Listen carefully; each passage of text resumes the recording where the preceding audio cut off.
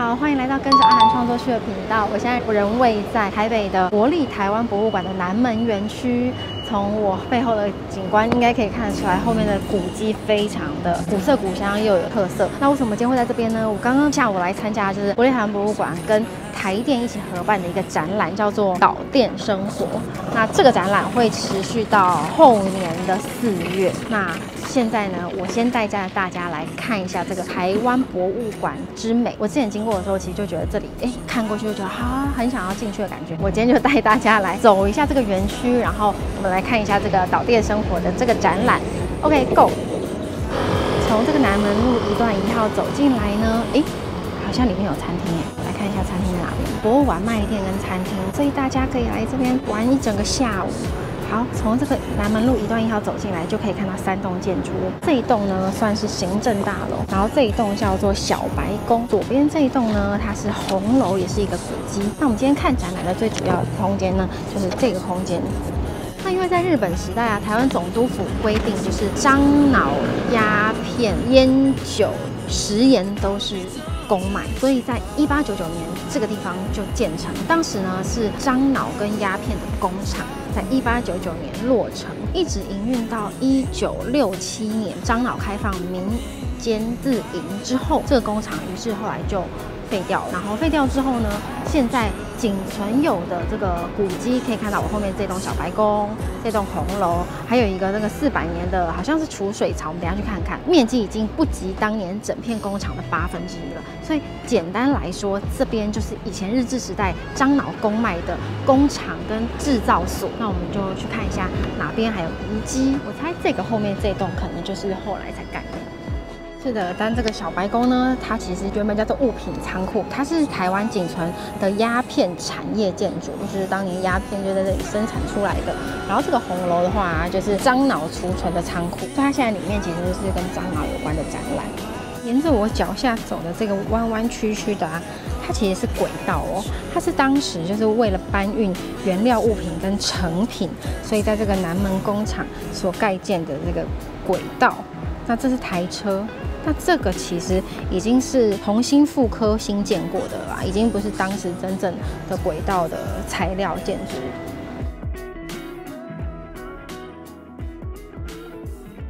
讲讲讲，走着走着，我们来到了什么？这就是四白石储水槽。好，来帮大家解释一下这个四白石储水槽是什么玩意儿。你们记不记得我们在做那个松烟作品的时候，那里也有很多的储水槽或者是消防系统？工厂其实就是一个比较危险的工作环境，容易发生火灾嘛。所以当时其实为了因应他们二度发生火灾在这个地方，所以他们就盖了这一座四白石储水槽。这个池水的水源的来源是制作樟脑跟鸦片制作过程中用来冷却它们的冷却水，会排到这个地方来。热水除了一般。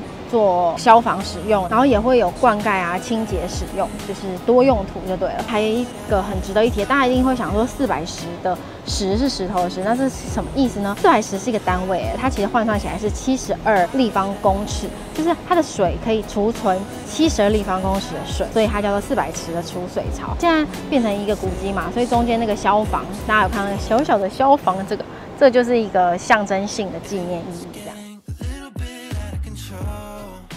哎，我傻眼！我刚刚想说，完了，展馆里面可能会有时间限制，所以我就想说，那赶快去。结果四点五十分，他就跟我说展览已经关了，因为展览只有到五点。可是今天好像不算是正式的那个展览，今天算是开幕前的一个节奏，所以它已经关了。我刚刚其实听完展览以后，本来想要带大家去导览啊，但我可能我就下次再找时间来。但我觉得除此之外，这整个园区觉得蛮舒服。它其实园区不大，你看我这样绕一绕，后面是。厕所这边有一些哎休息的休憩空间，那我就把这个园区介绍的比较完整一点给大家看好了。就是它还有一个遗构啊，是这个吗？哦，遗构保护区禁止进入。对对对，我刚刚就在找这个。好，我来跟大家讲一下遗构是什么东东。好的，在我后面这个凹凹的地方啊，它其实就是试验室遗构。所谓的遗构就是建筑遗迹，在二零零八年考古发掘的时候挖掘出来的，据说是当时的总办公室，然后也是整个厂区里面最精致的建筑物。但是它就是消失了。那我给大家看一下它这个以前的照片。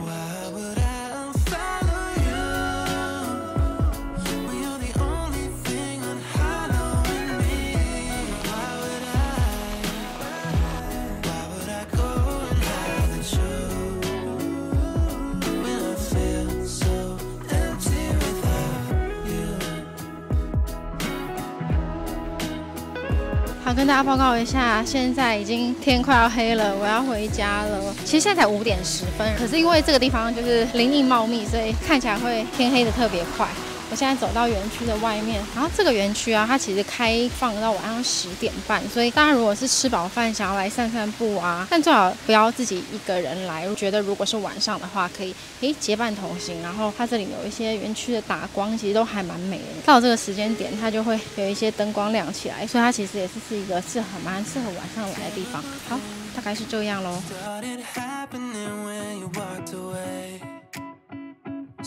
but I stay ready.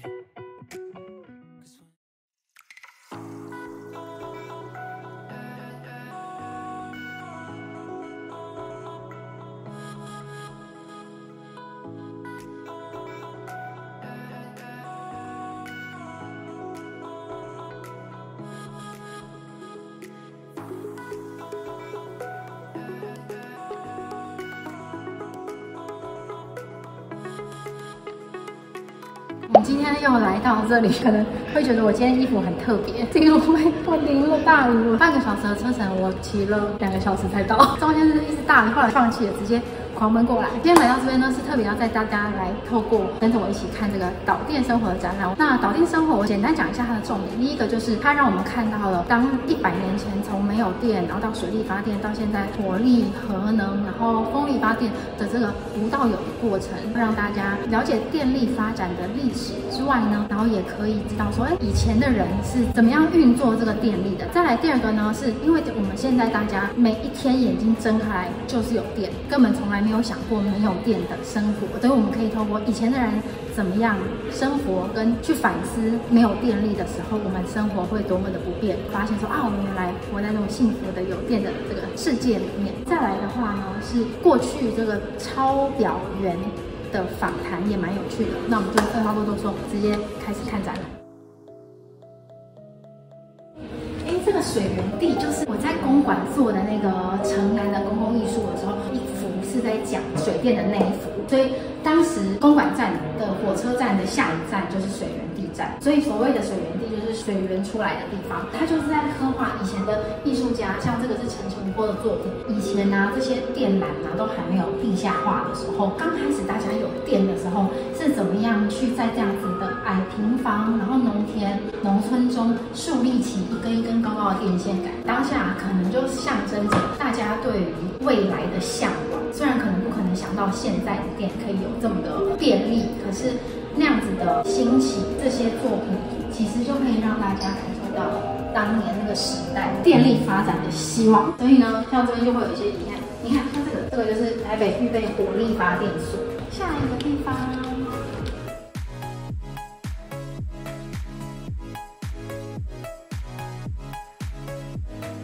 以前的台湾总督府的明信片。这边有在讲说，刘铭传其实是台湾一开始有电的这一个滥觞。刘铭传先生，全世界应该都知道，台湾电力创业百年，所以台湾有电其实才一百年前的事哎，其实很近。你想，因为我的奶奶刚过一百岁，所以我奶奶出生的时候，那时候才开始有电，其实很难想象哈，就是我们的祖母辈的这么长的过程中，去体验到从。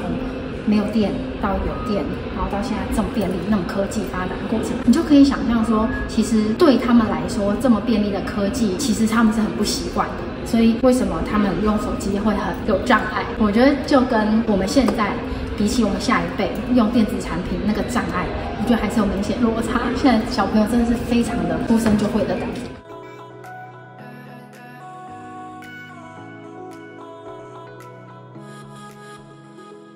好有 feel 你看它这种以前手写的日月潭第一发电所及水路公式的状况，以前他们所有的东西都要用册子和厚本，然后去记，然后这种东西久了以后就会非常有时代的历史感。现在应该都是直接电脑化，所以未来越来越少这样的，其实这个会越来越珍贵。然后你看它这边有讲经济部能源局最新公告的再生能源发电部分，包含了。再生能源大家知道吗？就是比较环保的能源，不会造成废料，包括了水力、地热、风力，还有太阳能。然后目前呢，台湾的再生能源，当然水力是占最大多数。台湾的发电厂跟发电站，台北没有发电厂哎，台北地狭人稠，所以不适合设置发电厂，所以只有新北、桂山、深澳、深澳经废处。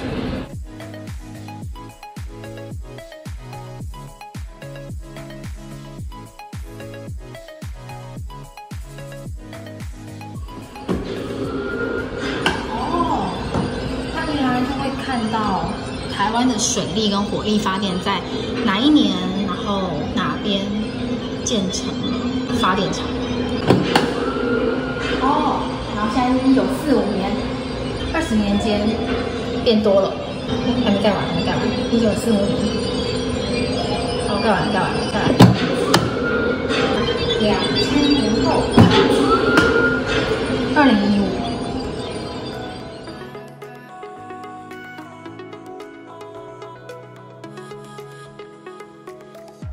电力是那个嘛公营的，然后他说日治时代其实有很多的民营电厂，然后因为有很多的电力需求，所以很多人就开设电厂。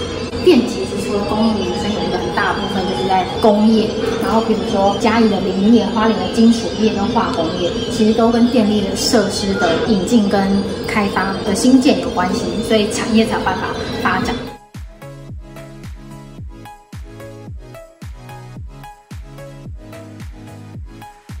他是说这是台湾银行内开始使用电灯，所以早期的银行是没有电灯的，大家很难想象，对不对？就是没有电灯，到底要怎么办事？台北的夜景因为电灯而非常的热闹，夜晚的台北荣鼎街道，哦，这都是以前开始有电灯之后的台北样貌，有很多华丽的灯饰，这些照片真的都很老哎，蛮不清楚的。他这边就在讲说，有了电之后才有的画面有哪些？比如说晚上还是可以捞金，因为有一盏灯。然后这个一格也是，你看它这边周边都是灯泡。夜市生活也是因为要有电才有办法夜市生活。这个路灯，然后招牌小型柴油发电机，使得夜市的内容更多元。他们开始可以用发电机来烹煮。宝牌三星电冰箱的广告，哎，这里可以听到一些老广告。别担心，大家都买得起。生宝牌三星电冰箱很酷哎，这个蛮有趣的。我再听一个。各位观众，您家里的电视机常常有这些现象吗？这是损台器的毛病，就是损台器容易磨损、接触不良，毛病可多了。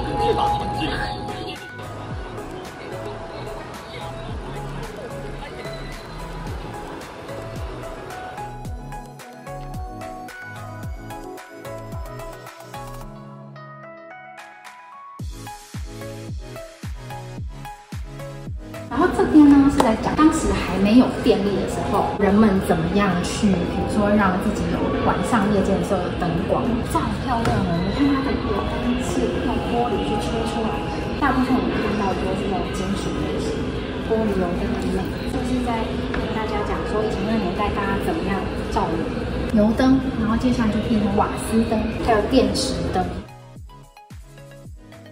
反正有了电之后呢，就有很多的电器啦。电器对大家来说现在是稀松平常，谁家没有电器？但是呢，以前呢，这些都是非常珍贵的用。电风扇，国际牌干电池铁招牌，电池在日本时代已经引进台湾，这个是国际牌的电池。哇，这个电视好酷哦！这感觉是以前有钱人家才可以有。你知道以前就是我妈妈那个年代，有电视的人家就是家里有钱，然后所以只要比如说打棒球的时候，全部周边邻居都会去那个有电视的人家看电视。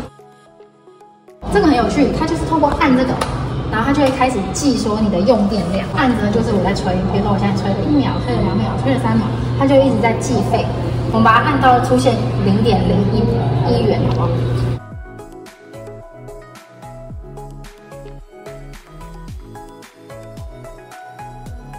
这边之后你们都不用钱。呃，其实电风扇应该是蛮不耗电的，对不对？大家尽量吹电风扇哦。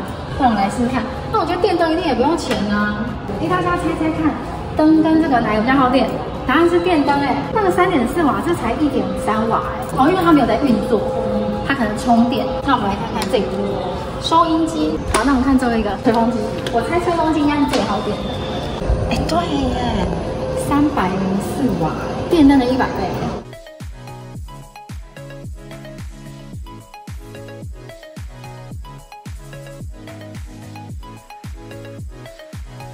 以前开始有电的时候，就会有些宣导广告。你看这些宣导广告很可爱，宣导不可以在电线上挂衣服。你刚刚有讲嘛？以前的电跟电线都是外露的，大家可能会觉得很好晒衣服，免费晒衣架，它其实是很危险。不可利用电线悬挂衣服，这是第一个宣导。反呢，霓虹灯不要太靠近易燃。因为霓虹灯是有灯的，现在我们都知道说有电容，器不能太靠近一些危险的易燃物或火源。但是以前要宣导，你看这个女的很性感，浴室内最好装置拉帘或墙壁开关以测安全。哎，可是怎么会有人把插座放在浴缸旁边？这个很妙哎。电锅、冷气、洗衣机不要同时都开动，这是那个回路问题。现在打也是都容易跳电，所以刚开始用电的时候都会有很多电力的宣传、安全性宣传广告。就是在讲说，以前的抄表员不只是抄表，他还有很多的工作。因为现在收电费，我们就是哎，网络啊什么什么缴一缴就好。以前收电费啊，就是要抄表员，要顺便收电费。当你住在偏远的山区的时候，有时候会需要有电力的维修，所以抄表员、电力的维修，还有跟收电费，他可能就一趟就去，一次完成全部。所以他们以前都会跟这些家户啊感情很好，然后认识很深。这次就是以前的不同年代产生的情谊，现在很难有发生。这样的事，因为太便利了。上次来啊，就是有邀请两个退休的钞票员现场分享故事，我们来听一下他讲很精彩的故事。另外还有用户哈，跟我们互动。知道我们固定地址哦，我不在家的时候，我们没有关，我的钱就放在那个桌垫底下，你自己拿自己找，收据就放在那。另外还有一家哈，我们会收起来，但是我仓库没有关，我仓库哦有一条绳子，绳子底下哈有个篮子，篮子放钱，你就把提起来，把钱放在了底下。啊多少你就自己找，就是这样。所以我那边收电话，你要找不到，你找隔壁收。隔壁是隔壁就是对面的山，叫做隔壁。我们一定会遇到婚丧喜庆。我曾经遇到一个哦，刚好结婚第二天的话，我去收电话，那个客户说：“你今天不出我的喜饼喜糖哦，你就不要收费，一定拿不到钱。”结果我收，我抽他了一块的。饼哦，这样，他那个地方三只有四种，第一种是大饼，另外一种是什么？米汤，另外自己的红来变，我一个吃一块，那个就吃饱。我民国六十一年就出来红烧，红烧出来，迄当时我是用啥？骑脚踏车啊，地雷啊，所以有当时啊去钞票收钱，教会人教，啊加个康的，但是啊，你啦出皮，麻烦查某囡仔老母讲。哎，我介绍恁查某囝做做女朋友好无？搁一项做啥？古早拜六早起爱上班，迄天拄拄着啥？除夕，除夕搁搁收电话钱，厝内搁无闲，要赶嘛？我还是比我印象真深着啥？我差不多六点天暗嘛就开始出去共收啊，五点外排队啊，中午排队收到十点外。我上次有来看到这个，我就觉得很喜欢这个包包，你不觉得很有 feel 吗？就是这个是收费袋，所以这里面哦都是装很多钱。以前的钞表卡簿，然后电价表，台电历年的电价表，哎，所以这个翻开就可以看到电价是每一年多少钱，然后现在多少钱。所以它这边也有很多以前像你看，就是手写的一些证啊，或是单子啊，或是收据这类的东西。最后有一个，他用这个红色的线，实体的去让大家感觉到这个很像是灯光灯束，就是因为有电，所以开始有这种镭射灯的感觉。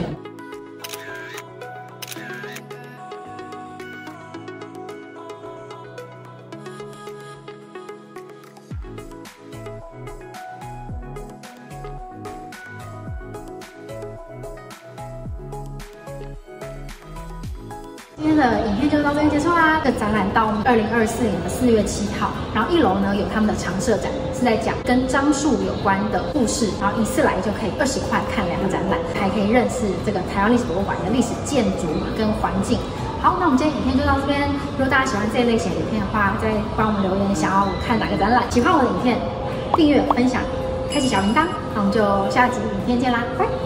好，我们很幸运邀请到这一次展览的两位共同策展人，先帮我们介绍一下。你好，我是台博物馆教育推广组研究助理李金贤。好，那大家好，我是台湾电力公司公众服务处聘资，其实也就是处理展览一些文化设计的事务。对美聘资，我们其实认识很久，对，很久很久。那这个展览在台博馆南门馆的二楼特展室。那这个展览想要带给观众什么？其实谈到电力，大家都认为就是很科技的东西啊，我们就反科学式的去谈，就是我们没有要谈电的那些技术啊，谈的是跟人跟我们感受最有。直接关系的这些东西，乍看之下好像是我们现在的人，其实没有我们从过去一百年来接触到这项能源一开始的人去谈，它可能是视觉上，可能是文字上留下来这些记录。那我们可以透过他们这些记录去理解、去读出，说他们在他们那个时代受到这样的一个文明冲击、文明化的过程，以及接受到这样新能源的一个挑战的时候，他的内心世界是怎样的反应，然后他所表现出来的习惯上是怎么样的反应。也可以透过他们的日记生活，他们可能只是在写。生活，但是我们可以从里面看到一些跟电有关的一些秘密。但是这只是一个破题。那其实我们最后面想要谈的，其实是我们这些习以为常的日常里面背后。未曾注意或不愿意去想起来的东西，就例如说浅一点的，就是使用电所花费的成本。那个成本可能是钱，可能是国家的钱，可能是我们自己的钱，有可能是我们的生态，有可能是我们的环境。这些其实都是我们人们的成本。然后另外也有谈到，就是说我们都认为电是一个文明的象征，一个先进的一个表征。可是问题是我们却曾几何时难以想象到过去的电也曾经误用过。就例如说日本时代的爱永线的通电铁丝网，它曾经拿来作为后。过通电，然后来阻隔人和人之间。那其实这是活生生血淋淋过去台湾史上面的一个例子。可是我们今天教科书上不见得会谈这些事情。那我们谈的都是电力带给我们的方便。这次展览刻意的将这些东西议题唤起，言人所不能言，然后诗人。所未能思的一个地方，引起大家思考。所以其实 台博物馆他们主动邀请我们合办这展览的时候，其实我们觉得很棒。很棒的原因是因为，其实我们一直以来也很想要让大家知道，其实台湾岛屿这个岛屿上面能源有限，但是生活上我们要用电。那这用电的背后，其实从就像刚刚有提到，百年前其实我们就是很环保、很再生的水利。那但是随着大家对用的需求的渴望，然后开始不管是火力，后来的核能，到现在其实面对这样子环境。的变迁，其实我们慢慢又需要再走回到这个所谓的再生能源，水利也好，天然能源也好。透过这展览啊，除了让大家知道说这一个时期，这个百年来大家是怎么经过有电这个时代，那回过头来，大家可以一起想想，在我们继续需要用电的未来，那我们可以有什么样的选择？谢谢金贤跟品质精辟的解释，那谢谢，拜拜拜拜。在现在我脚上。